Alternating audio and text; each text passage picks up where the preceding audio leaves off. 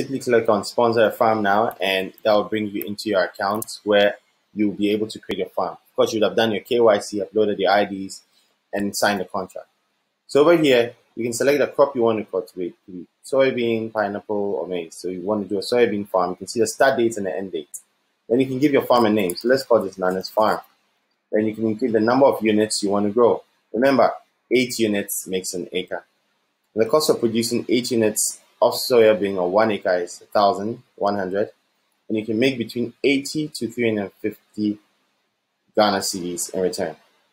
Then you can choose how you want to harvest. You can harvest as cash or the crop itself. Most people harvest as cash. Then to see the breakdown of how we arrived at this potential profit um, range, you can look at the calculation, see the low case scenario and the high case scenario, the cost of production, the market prices, and the potential um, profit estimates, and then the profit share. And that's very simple. After finding the details, you can go ahead to make payments. You can pay with your card, your mobile money, or your bank payment. To pay with the card, accept and acknowledge terms and conditions and click Pay Now. And that's it.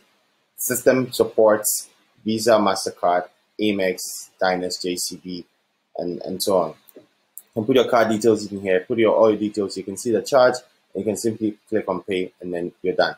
We're going to cancel this and we can look at an existing farm on the platform.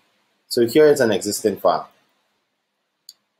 So on successful payment, your farm will be created. So we can click here and look at this farm. This is a, a soybean farm. You can see the fine details of the economics of this farm. You can see the stages in which the farm has gone through. Here you can see pictures of land preparation when the land was being prepared, and you can view the pictures and be part of the journey. And then you can also go ahead and look at the planting stage, how smallholder farmers plant in northern Ghana. So you can click and see how they punch the ground, drop the seed and step on it. Gives you the different experience. Depending on what farm you selected and when the farm starts, your pictures may be available or not. Here at the growing stage, you can see what happens when the farm is growing. This is a soybean farm at the growing stage, and you can see the different stages the crop goes through. Finally, when it's time for harvesting, you see how the crops look like at the harvesting stage, and you can then appreciate the journey of your funds in producing the crops that you sponsored.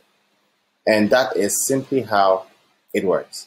To receive your payment, you can from the finance section, you can indicate how you want to be paid out. Payouts happen on virtual cards or bank accounts or mobile money, and you can indicate all those details here. Remember, there's a referral mechanism that can allow you to earn from 5 cedis to up to 2% of the amount your sponsors bring in to farm. And that simply is because our cost of acquiring the customers is paid to you, a sponsor who refers others.